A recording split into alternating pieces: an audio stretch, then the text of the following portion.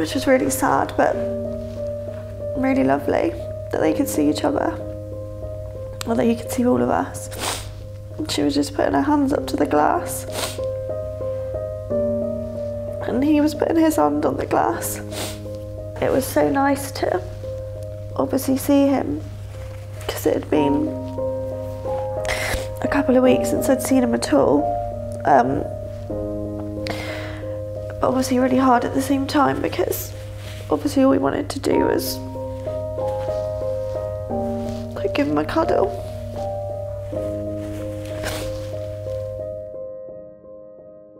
So I met Tom in 2012 in Oceana. um, I think it was on my birthday. Tried not to fancy him for a while, but he was just so, just so funny and lovely that happened. I think from about 15 he had um, suffered with migraines that used to like make him sick, which got worse sort of like in his late teens um, to sort of about 20. Um, and then it was when he was sort of 20, 21, found out um, that he had a tumour the size of a lemon, I think it was, when they found it. So they reckon it had been probably growing for years. It was a grade two um, tumour, which meant they couldn't um, get all of it out. So when I met him, I think it had all been about um, 18 months, two years since the surgery. Um, so I knew I knew about it all before I met him, but he didn't he didn't know. It took him about six months to to tell me, even though you know Tavistock's a small place. Got engaged in 2016, and he'd been alright then for a good few, like a, probably about a year, I think.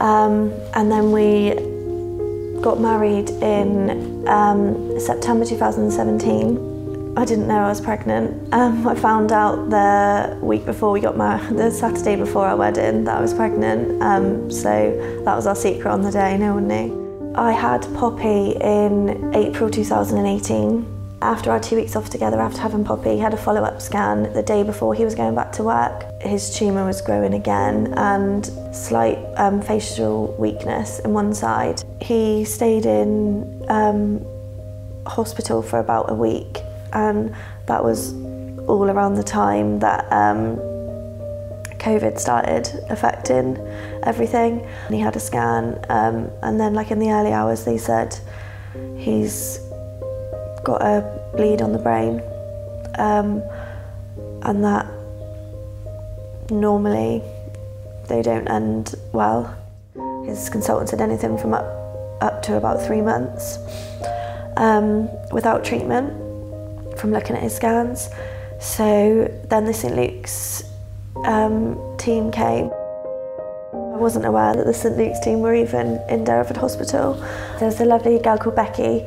I spoke to her for probably about an hour, just about anything and everything. Um, and it was really, really nice to have somebody to speak to that was our age because like a lot of the things she said, you know, it was almost like she got it because she knew how she would feel. She cried with me and like that meant a lot. When we actually arrived at St Luke's, Tom was actually able to sort of get what was going on because um, obviously we had to make all these decisions whilst he wasn't really aware. Um, and he spent a week um, actually in the hospice, um, which he said was like a retreat. Um, he got a lovely sea view room, fed all the time, alcohol trolley. Um, I got a message from St Luke's on Facebook saying um, Tom was making us all laugh today. Apparently he keeps sneaking into the cleaner's office at night and pinching all the biscuits.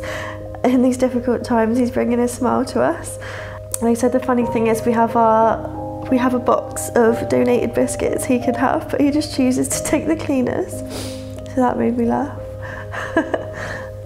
And all his all our friends came to visit all the time like the children came all the time. They had a playroom that Poppy would play dress up in. Um, his son Josh would come and visit and Tom was able to go down and play like the Xbox with him. And um, yeah, family would just come and like have lunch in the cafe and Tom would come out and have lunch with them. And like it was just a really really like really nice place to be. Um, and just even nicer that Tom loved it. And then I've got a phone call from Poppy's nursery. She was in nursery that day to say that she had a temperature and I had to go and get her. Um, basically that she couldn't come back to nursery for a couple of weeks and that we needed to both self-isolate. It didn't even dawn on me that self-isolating would, you know, mean I wouldn't be able to see Tom. So yeah, that, at that point, I was sort of had to sort of say goodbyes in a way because I didn't even know if I would, you know, get to see him again.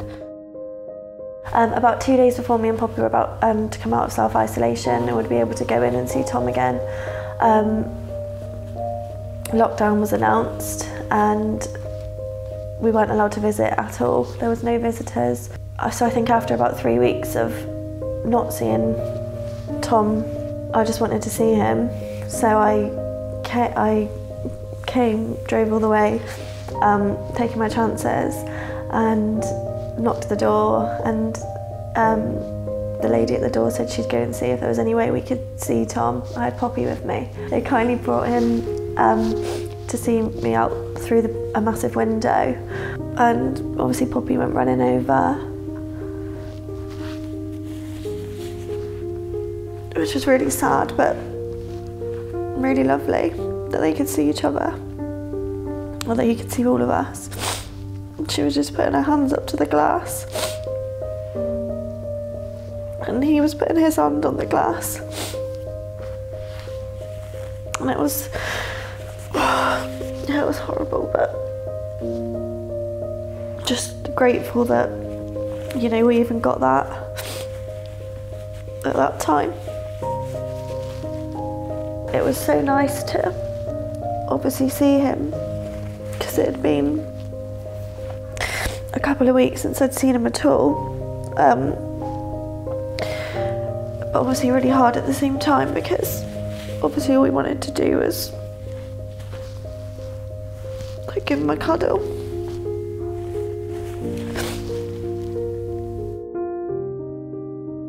So then about a week later, um, I got a call from St Luke's and um, it was decided then that Tom would come home um, with care from St Luke's. That was defi definitely, definitely the best decision. Like we had the most amazing three weeks at home together. You know, whether they were like getting him dressed or showering or whatever, it meant that I could have half an hour, you know, to you know, do something with Poppy or just have like a little break. They would even ask if there was anything I wanted them to do, like just in the house, which was lovely. On the final morning when they came, we actually had a really lovely day. The fact that he was at home, um, it was sunny. Um, we probably did all the things you shouldn't do.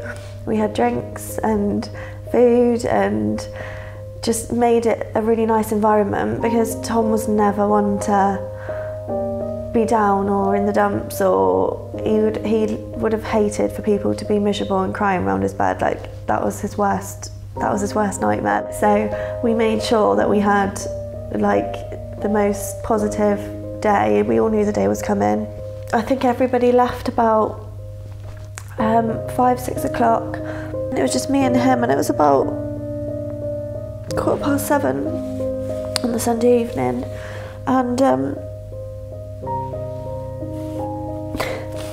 I started saying all sorts of stuff. He'd be cringing at, and um, like stuff he would say to the children, and um, stuff, things that he'd say to Josh and Poppy at bedtime, and um, just fell asleep.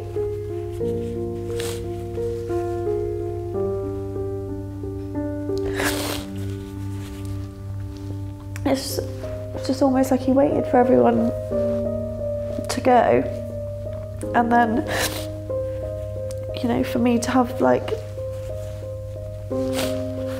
those final words or whatever with him. And then he just went.